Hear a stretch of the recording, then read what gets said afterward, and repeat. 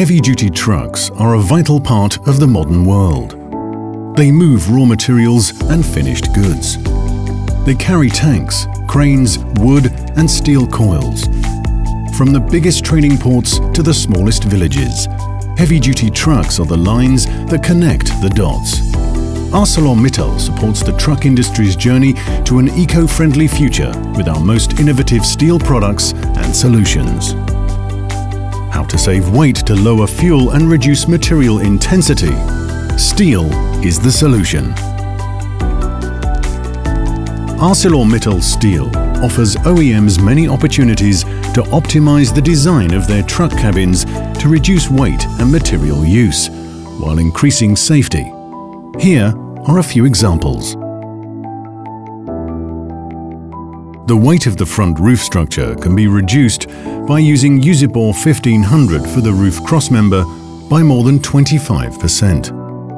Usibor 1500 also helps OEMs meet the latest roof strength tests. The firewall structure also offers opportunities to save weight. With a design that uses Usibor 1500 and dual phase grades 780 and 600, we can achieve a weight saving of up to 27% while significantly improving the transfer of front crash loads to floor members and the cabin's side structure. Using Martinsite 1500 for the vertical reinforcement of the rear panel has a very positive effect on crash load cases and on rear body mount stiffness.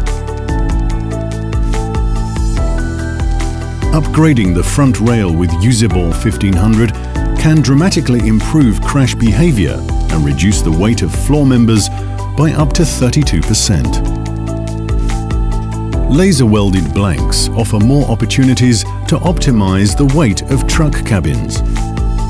Combining the anti-intrusion properties of Usibor with the energy absorption of Ductibor enables the rear of the cabin to absorb energy in the event of a crash while avoiding intrusion at the front.